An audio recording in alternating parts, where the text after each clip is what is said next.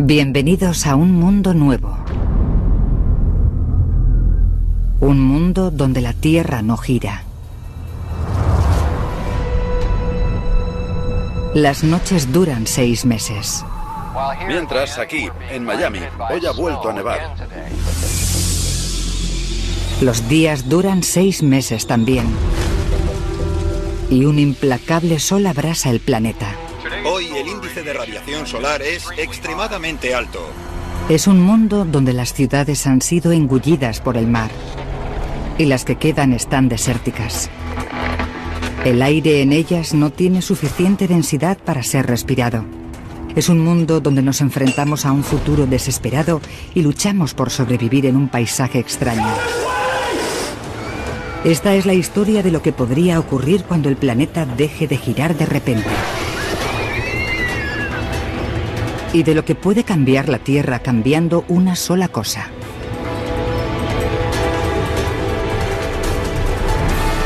Reacción en cadena, cuando la Tierra deje de girar.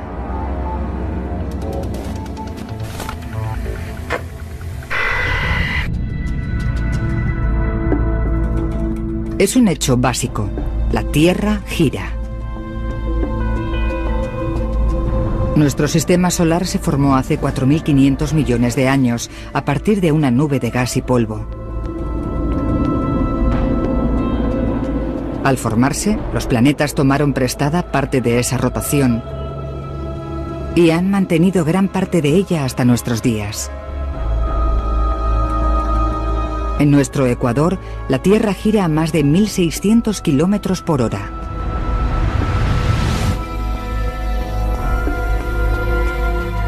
La Tierra cada vez gira más despacio, unos dos segundos cada 100.000 años. Pero hoy esa velocidad se va a acelerar. Tardará cinco años, pero al final la Tierra dejará de girar totalmente. ¿Qué pasaría con nuestros océanos? ¿Nuestros continentes? ¿El aire que respiramos?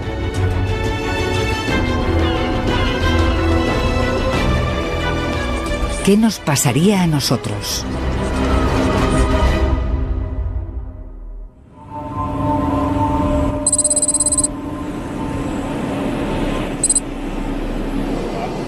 El primer día, el cambio de velocidad de nuestra rotación pasa prácticamente desapercibido. Menos de un kilómetro por hora, pero los resultados son dramáticos. En el aeropuerto internacional de Miami surgen los primeros problemas. Torre de Miami, American 553, último intento. La mayoría de aviones comerciales navegan con la ayuda de sistemas de posicionamiento. Estos sistemas funcionan mediante una red de satélites que indican al avión dónde está. Un componente principal de ese sistema es el tiempo. Los relojes de los satélites están casi en constante contacto con la Tierra. El gobierno de los Estados Unidos fija la hora mediante relojes atómicos, los más precisos del mundo. La ralentizada Tierra no hace nada que afecte a estos relojes. Pero las bases terrestres con las que se comunican los satélites no están donde los satélites suponen que están. El GPS no espera que la velocidad de giro de la Tierra cambie tan radicalmente. El retraso de la Tierra desequilibra este calibrado sistema. Los efectos son catastróficos. American 721 abortando aterrizaje. Repito, abortando.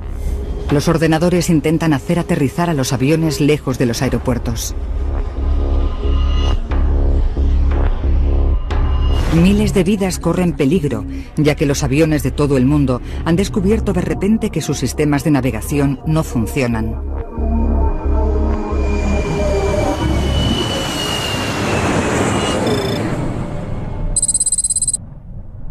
Estupendo.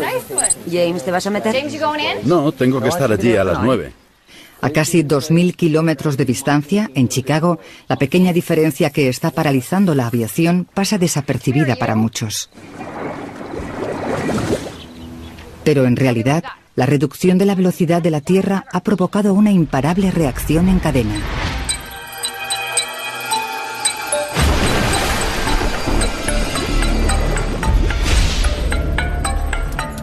De forma periódica cambiamos de hora nuestros relojes para sincronizarlos con la madre naturaleza. La prolongación de los días ocurre tremendamente despacio. Tenemos tiempo de acostumbrarnos. Pero, ¿y si a las 9 de la mañana fuera de repente de noche? ¿Y si a medianoche fuera de día? ¿Y si nuestra idea del tiempo no coincidiera con la realidad? Los científicos han confirmado una errática reducción en la rotación de la Tierra. Hay quien incluso dice que dejará de girar en los próximos cinco años. Si lo hace, los resultados serán catastróficos. Según los científicos, no se librará ningún país. En la primera semana, los problemas se acumulan en las ciudades de todo el planeta. Los días se hacen más largos lentamente y difieren del anterior. Los segundos y los minutos se convertirán pronto en horas y días. Las bolsas internacionales han caído en picado hoy. La incertidumbre de lo que pueda pasar ha sacudido la confianza de los inversores. ¿Qué pasaría con un mundo de 24 horas si hubiera más de 24?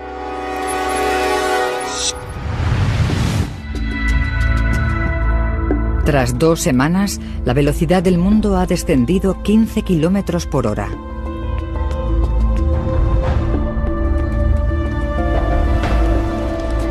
Y la reacción en cadena aumenta de velocidad. La aviación comercial se ha reducido a servicios esenciales y se han producido un total de 470 accidentes en todo el mundo. Más de 2.000 millones de pasajeros viajan en vuelos comerciales anualmente. Pero ahora preocupa la seguridad y se cancelan los vuelos. Los estadounidenses también realizan más de 10.000 millones de desplazamientos al año en trenes y autobuses. Ahora esos viajes aumentan, ya que los pasajeros de las compañías aéreas tienen que buscar otras formas de desplazarse. El tiempo es el principal problema de una Tierra que está empezando a dejar de girar. Pero después de dos semanas surge un nuevo problema. Los océanos. Nuestro planeta no es totalmente redondo. Es más achatado en el centro que en los polos. La rotación es una de las fuerzas que ayuda a mantener el agua del planeta en su sitio, alrededor de la Tierra. Pero a medida que esa fuerza se debilita, los océanos se empiezan a mover.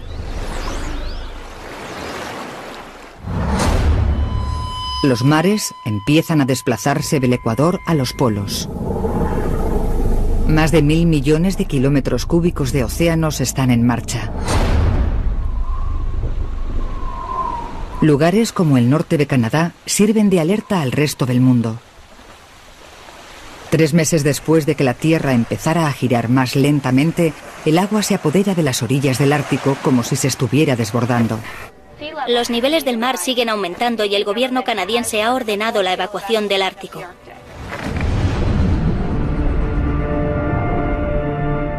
Y se produce otro peligroso efecto de la ralentización de la Tierra. A medida que aumentan los niveles del mar, también cambia el aire que respiramos. Nuestra atmósfera se extiende uniformemente por el planeta, y rota en sincronía con la Tierra.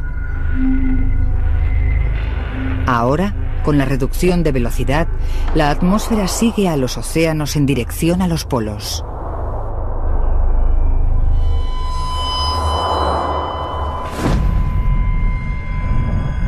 Los primeros afectados son las ciudades de los trópicos, como Río de Janeiro, Bombay y Singapur. Cada vez es más difícil respirar. Más al norte, las ciudades a mayor altitud también empiezan a tener problemas. En los Estados Unidos, la gente empieza a notar los efectos de forma dramática. A altitudes de 1500 metros se respira ahora como si estuvieran a 4500 metros. Los hombres podemos sufrir vértigo a menos de 2500 metros de altura. 5000 metros más es el límite para la supervivencia.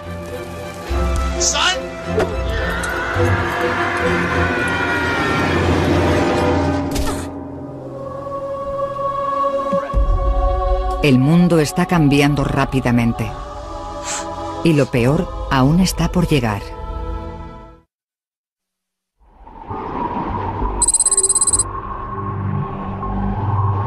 Han pasado cuatro meses desde que la Tierra empezó a dejar de rotar.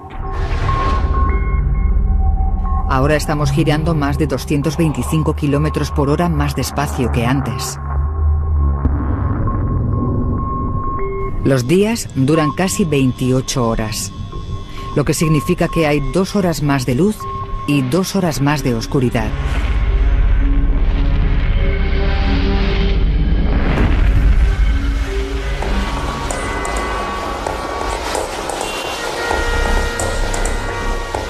Este cambio en el tiempo ha sumido en el caos a nuestro mundo, a nuestros océanos y a nuestra atmósfera. Las autoridades rusas comunican que los inmensos campos petrolíferos están ahora sumergidos y han dejado al país con una emergencia de combustible ante la inminente llegada del invierno.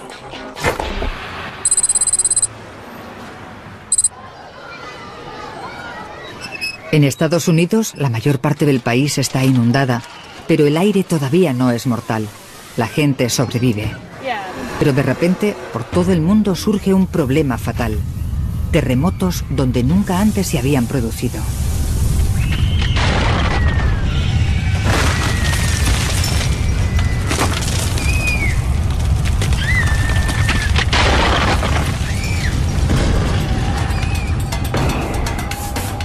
La Tierra tiene tres capas, un núcleo líquido, un manto sólido y una corteza externa solidificada. Y todas rotan juntas. Pero a medida que la rotación se detiene, las capas se detienen a diferente velocidad, desencadenando una fricción masiva.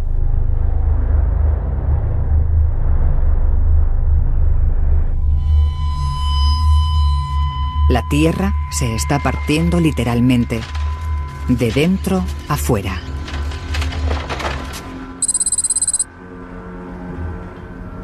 La costa de San Francisco es una zona propensa a los terremotos. Pero los oceanógrafos han visto ahora pruebas de una actividad sísmica que no habían visto antes aquí. Enormes grietas en el fondo marino liberan un intenso calor. Peces muertos por la explosión yacen en las orillas. La actividad volcánica que ha sufrido Chicago ha provocado el cierre de varias arterias principales. Los expertos recomiendan no salir de casa siempre que sea posible.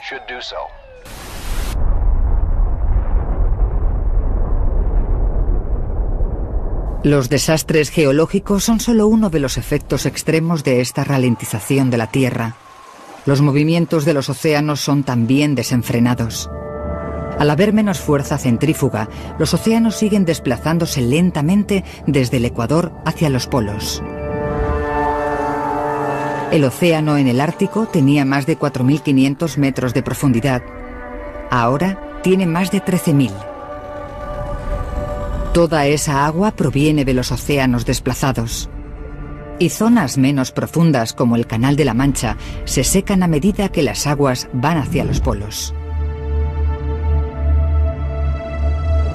Por primera vez en la historia, el Reino Unido forma parte del continente europeo e Irlanda está unida a Inglaterra. Se puede ir por tierra desde Londres a París. Y no solo es Europa. Las famosas playas de Miami se han convertido en tierra debido al movimiento de los océanos.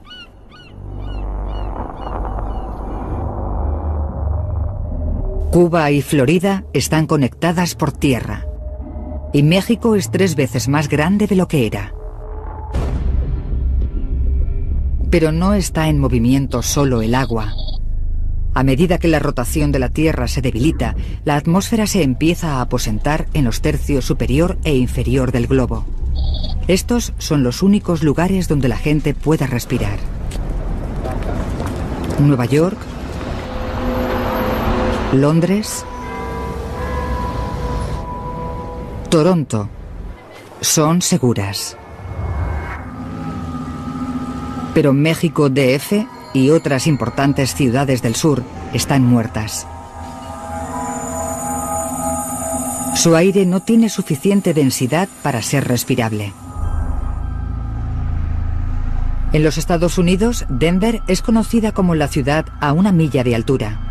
A medida que la atmósfera se hace más fina, parece que tuviera 5 kilómetros de altura y una presión atmosférica que sería como estar a mitad del Everest. Los expertos creen que el aire será respirable en estados de menos altitud como Kansas, Nebraska y Oklahoma.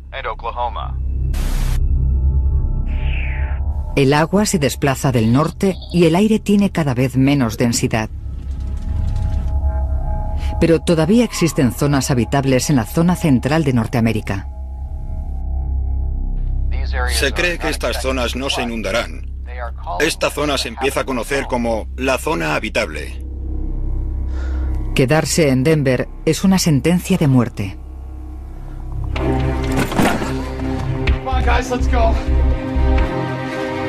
Tanto para jóvenes como para mayores, los efectos son críticos.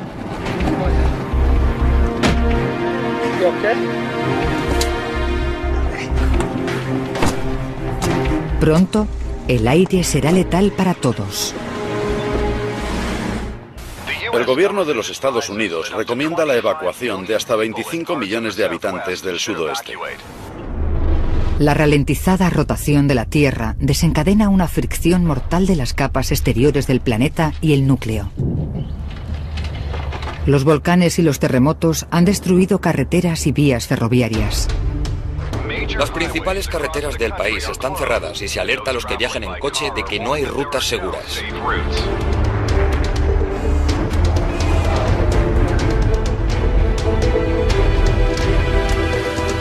Hay terremotos, volcanes y violencia por todo el país. Y se comunica a aquellos que tengan que viajar que el gobierno no puede garantizar su seguridad.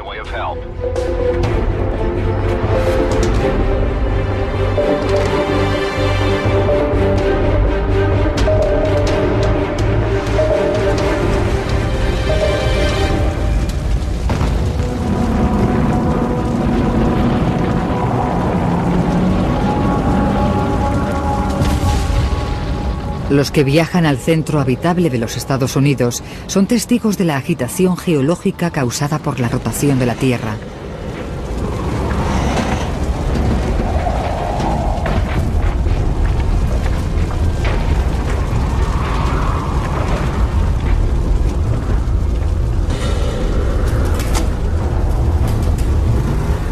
Mientras los terremotos devastan la región norcentral, los océanos dejan secas las ciudades costeras. Nueva York, Boston y Halifax son ahora ciudades de interior. Australia ha formado un nuevo continente con Indonesia. Y la costa de Asia ya no es ni siquiera costa.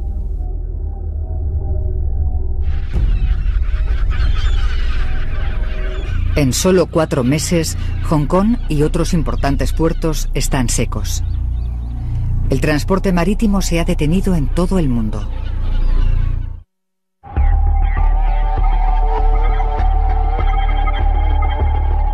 Se descubre que la ralentización de la rotación de la Tierra tiene otro peligro, la muerte por radiación solar.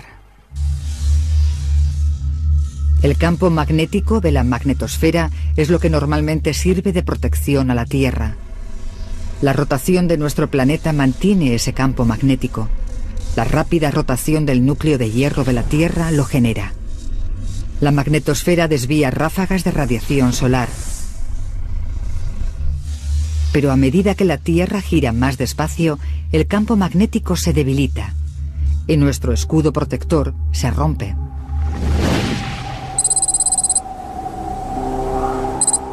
Zonas tropicales como Miami no corren peligro de inundarse. La ciudad yace en la plataforma continental del Atlántico.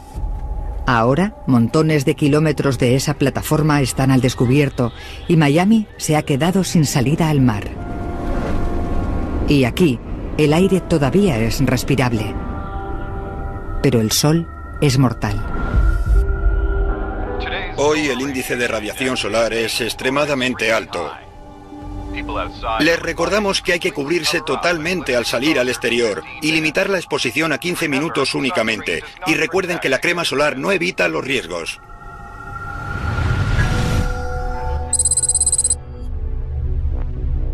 Hace solo un año que nuestra rotación empezó a disminuir.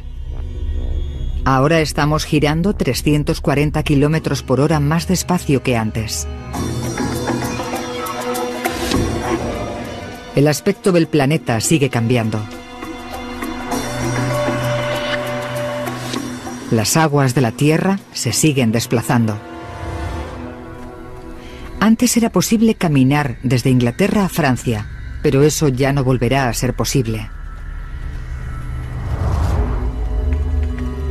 Al principio, las zonas menos profundas que rodeaban Europa se drenaron por el desplazamiento del Océano Atlántico al polo. Pero ahora el mar aumenta en los polos y Reino Unido y Europa son engullidos por un nuevo océano.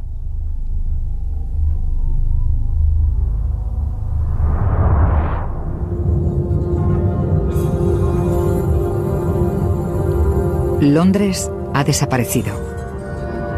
Berlín también. Y Moscú Ciudades históricas del norte de Europa están ahora en el fondo del Nuevo Mar. Cientos de millones de personas vivían aquí.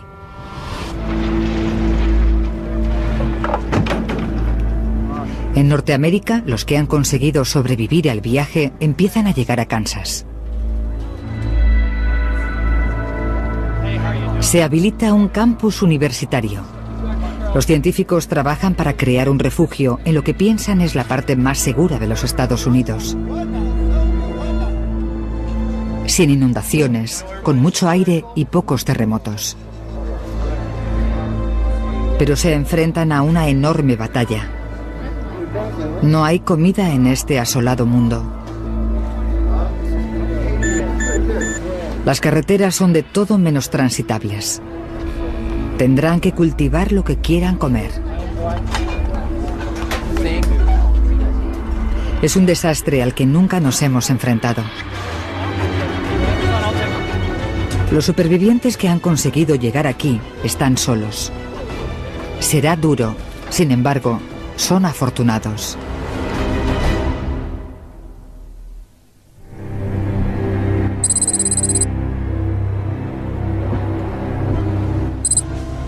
Han pasado solo dos años y medio, pero ahora la Tierra gira a 320 kilómetros por hora. Más de 1.200 kilómetros más despacio que actualmente. Países enteros han quedado sumergidos y en otros el aire no se puede respirar.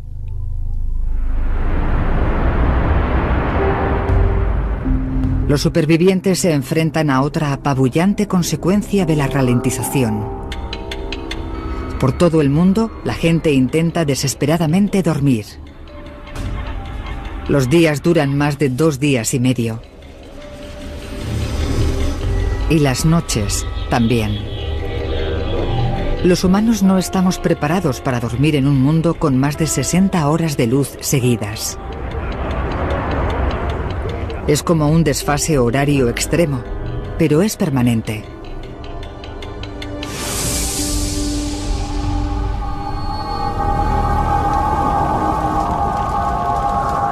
La gente que vive en ciudades no inundadas, donde el aire sigue siendo respirable, batallan contra esta grave falta de sueño.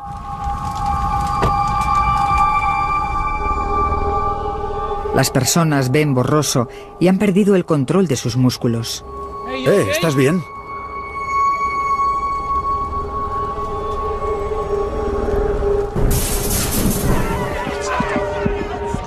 Síntomas que normalmente sufren los astronautas, submarinistas y exploradores del Ártico. El cansancio les ha entumecido el cerebro y nuestro mundo es demasiado extraño para intentar comprender.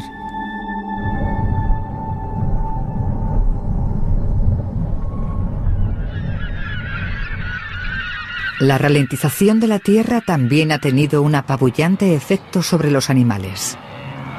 El cambio en la duración de los días ha provocado la migración de casi todos los mamíferos. Los días cada vez se hacen más largos. Algunas aves migratorias mueren porque no pueden volar hacia el sur y pasan demasiado tiempo en oscuras y frías noches. Otras especies se enfrentan al mismo destino.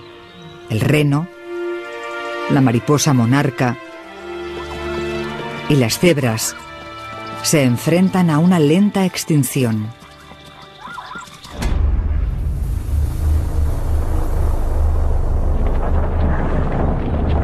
A medida que los océanos se desplazan a los polos, se forma un nuevo megacontinente en las latitudes medias de la Tierra. Un grupo de oceanógrafos de San Francisco se ha propuesto llegar allí. Estos supervivientes quieren empezar de cero en lo que solía ser el fondo del mar. Tendrán más posibilidades de sobrevivir que si se quedan en la gran ciudad. Es una decisión muy desesperada, pero en un planeta tan alterado no tienen mucho donde elegir. En dos años y medio, un ralentizado mundo se ha transformado completamente. Y lo peor aún está por llegar.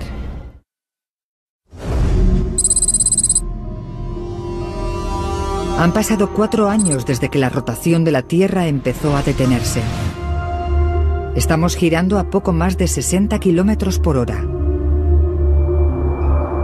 El sol ahora brilla 13 días seguidos, a los que le siguen 13 días de noche. La vieja idea de cuatro estaciones es historia. El clima ahora se define por ciclos de luz y calor u oscuridad y frío. En las largas noches las temperaturas pueden descender hasta los 55 grados centígrados bajo cero. Los humanos luchan por sobrevivir. La mayoría de animales no lo consigue. Y aunque consiguieran sobrevivir en las inundaciones y encontraran aire que respirar, morirían por el frío glacial. Los animales que hibernan tienen más posibilidades de supervivencia ya que están acostumbrados a no tener comida durante largos periodos de tiempo, pero su futuro sigue siendo incierto, ya que sus hábitats están o inundados o faltos de aire. Las plantas también son víctimas. Cultivos esenciales para la vida como el del maíz o el trigo necesitan mucha luz. Las templadas selvas tropicales se congelan y no se vuelven a recuperar.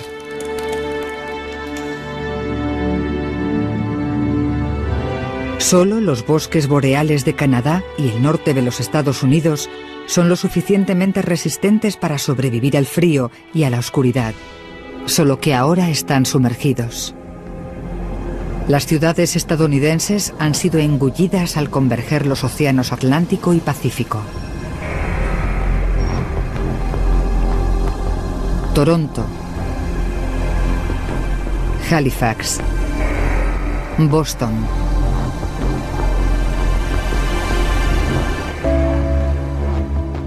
Millones de personas en Estados Unidos y Canadá han muerto. Nueva York también está siendo engullida por el nuevo océano. Pero el agua aquí solo tiene 100 metros de profundidad. Sus rascacielos están solo semisumergidos. Chicago, una de las ciudades más al sur de los grandes lagos, es finalmente engullida por el mar. ¡Por aquí! Los que se habían quedado huyen ahora despavoridos. El mar ha empezado a inundar pasajes subterráneos y de alcantarillado. ¡Lo tengo! ¡No pares! Pronto, la ciudad entera estará sumergida.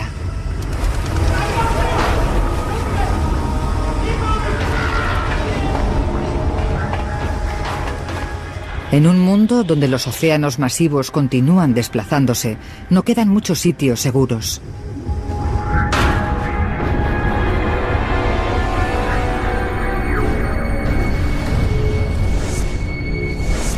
El ligero y letal aire ha hecho que casi toda África, Australia y Sudamérica sean prácticamente inhabitables.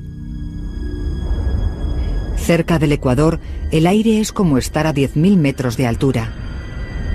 Más altura que la cima del Everest. Enormes ciudades están destrozadas y vacías. Pero un continente ecuatorial surge de lo que una vez fue océano. Y hay unos cuantos lugares en este nuevo megacontinente donde el aire es lo suficientemente denso para respirar. Un barco que lleva a un grupo de exploradores se dirige al oeste para empezar una nueva colonia humana en lo que antes era el fondo del mar. Es un viaje peligroso. Los sistemas de posicionamiento global no funcionan por la ralentización de la Tierra. Incluso las cartas de navegación son poco fidedignas, ya que los océanos no son como eran. Pero en este mundo agreste y cambiante, el clima es cada vez más impredecible. La rotación de la Tierra curva la dirección de los vientos hacia el este en el hemisferio norte y hacia el oeste en el hemisferio sur. Esto se conoce como efecto Coriolis.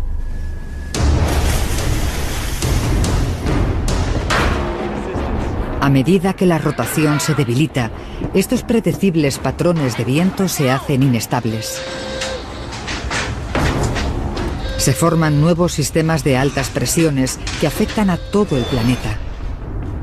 Las tormentas de los océanos son cada vez más salvajes y desenfrenadas. Pueden durar incluso semanas.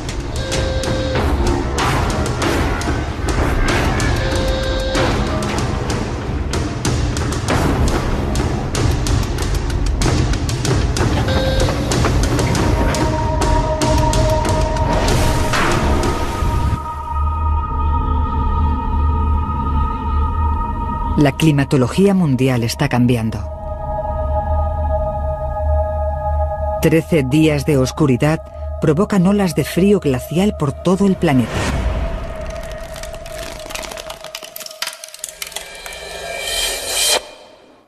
Mientras aquí en Miami ha vuelto a nevar, otra tormenta de oscuridad azota el país. Se calcula que la ventisca durará otros 12 días hasta que vuelva a salir el sol. Ciudades como Miami no están preparadas para inviernos así. Muchas casas no tienen calefacción, otro golpe atroz para las ciudades que batallan por resistir.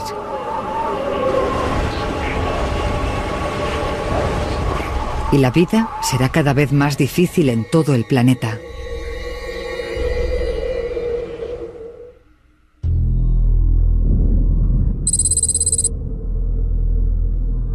Han pasado cuatro años y medio desde que la rotación de la Tierra empezó a detenerse.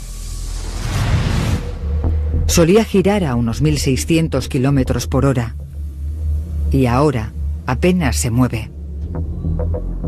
El sol brilla en el cielo 16 días seguidos.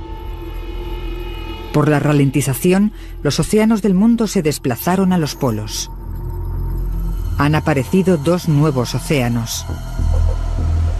Kansas está ahora en la costa de un nuevo y poderoso mar del norte. Tiene 16 kilómetros de profundidad.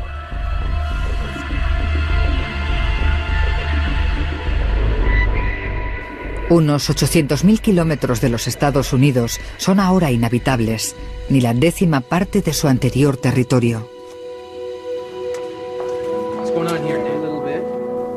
Los nuevos pobladores han creado un hábitat para cultivar alimento y vivir protegidos de un clima cada vez más duro, de extremo calor y extremo frío.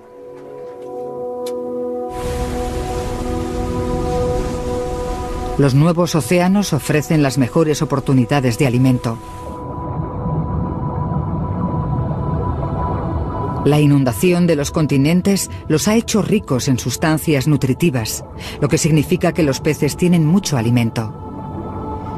Las especies de aguas cálidas murieron cuando los ecosistemas costeros desaparecieron, bien al secarse o al inundarse por el desplazamiento de los océanos. Pero muchas especies de aguas frías como el bacalao, la caballa o el atún sobreviven.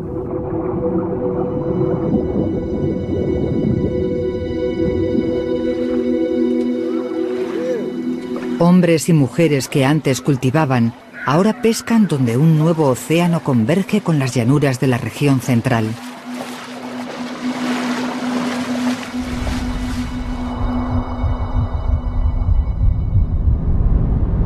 Durante las largas y frías noches, los refugiados trabajan en equipos para pescar en el gélido océano.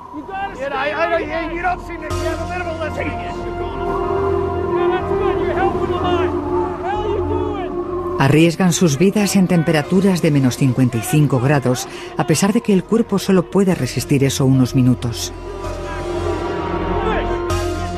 Pescar en el hielo no ofrece suficiente alimento para los cada vez más refugiados norteamericanos. Se está agotando el tiempo. A medida que la Tierra se detiene, la cegadora nieve por fin cesa. El efecto Coriolis que provoca el movimiento de rotación y que controla el clima ha desaparecido. Ahora las tormentas son cada vez más predecibles. La ralentización provoca un patrón del clima más estable. Pero sigue habiendo cambios muy bruscos de temperatura entre los calurosos días y las frías noches. Y esta estabilizada climatología supone menos precipitación. La lluvia cae principalmente en mar adentro y no hay vientos que lleven las tormentas al interior. El agua de las ocasionales lluvias diurnas que se producen en el hábitat de Kansas se reservan para los periodos de sequía. La situación aquí es desesperada.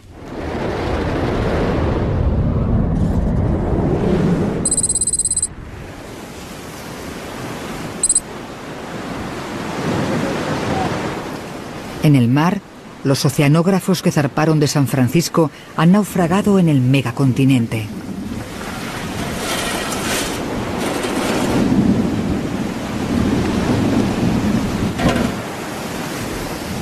Escudriñan el fondo del mar buscando alimento para sobrevivir.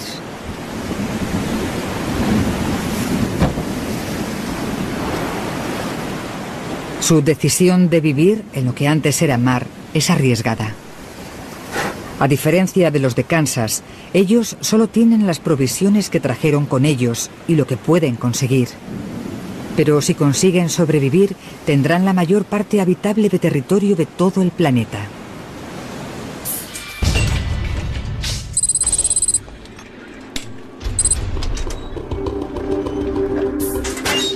Los que decidieron quedarse en ciudades no sumergidas como Miami tendrán que soportar muchas penurias. Vosotros mirad esas cajas, a ver si encontramos algo. Vosotros venid conmigo. Vosotros...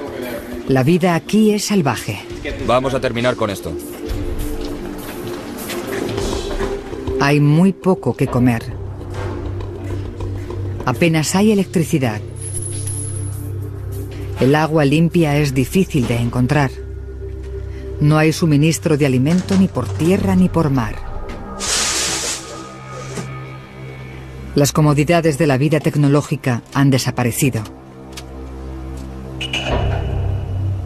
Cuando los recursos que quedan se acaben, Miami no tendrá nada para sobrevivir.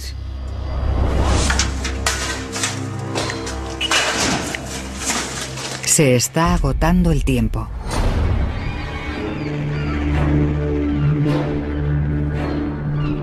Con el final cerca, algunos supervivientes deciden marcharse. Pero tendrán que encontrar un lugar que no esté tan rodeado de tierra como Miami. Para sobrevivir en este extraño mundo, tenemos que estar más cerca del agua. Y el mejor lugar es a miles de kilómetros de distancia.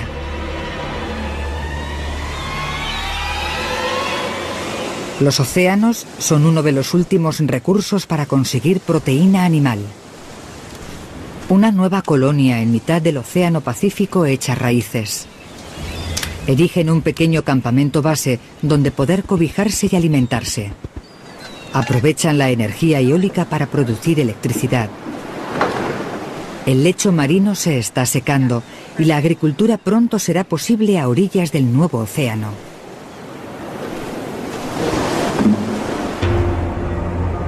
Pero cuando llegue la oscuridad, el clima pondrá a prueba los límites de la supervivencia humana. Más de 16 días de temperaturas gélidas, con refugios mínimos en un megacontinente a la intemperie. Y cuando el mundo deje de rotar totalmente, habrá más consecuencias catastróficas.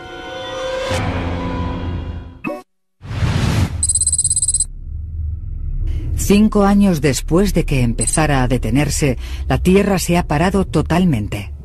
Los océanos, la atmósfera y el clima se estabilizan. Un megacontinente rodea el centro del planeta. Dos inmensos océanos van desde los polos a las latitudes medias. La zona media es mortalmente sofocante. Más de la mitad del nuevo continente es inhabitable. La Tierra no está rotando, pero sigue orbitando alrededor del Sol.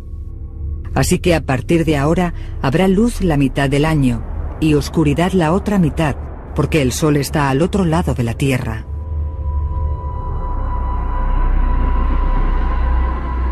El viejo concepto del día y la noche está muerto. Partir de ahora será un patrón anual. Seis meses de sol y día y seis meses de oscuridad y frío.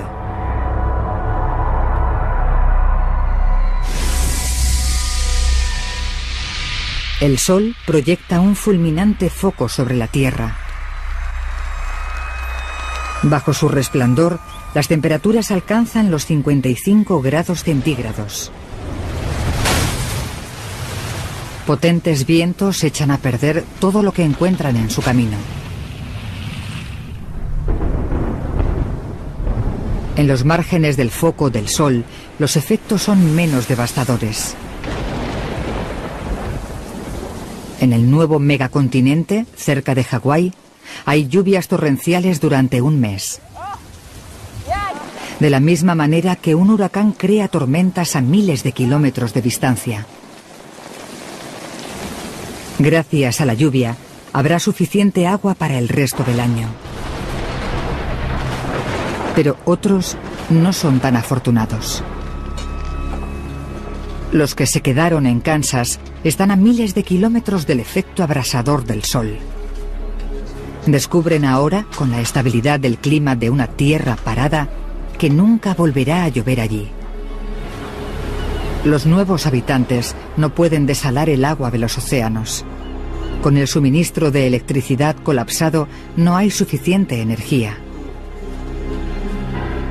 El mundo tiene ahora un patrón climatológico controlado totalmente por el Sol. No habrá más vientos, ni más sistemas de presión.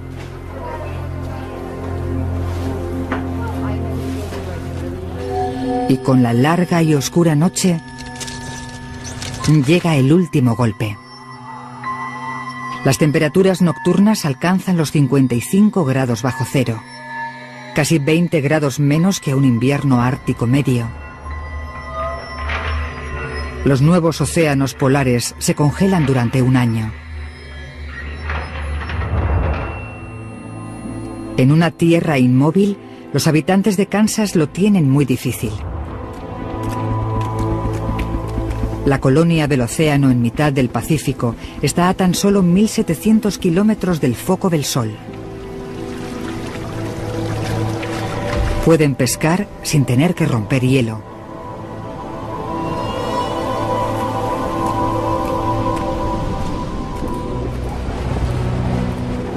Pasa un año.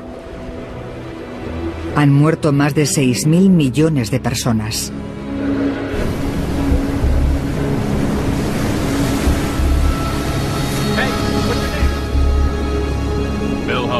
Los pocos supervivientes se dirigen a uno de los últimos lugares de la Tierra donde el aire es respirable y la climatología tolerable.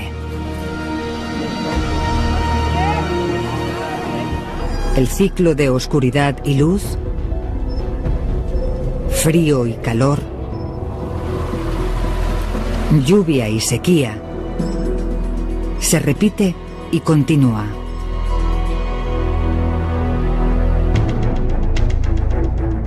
La ralentización repentina de nuestra rotación da lugar a un planeta totalmente diferente.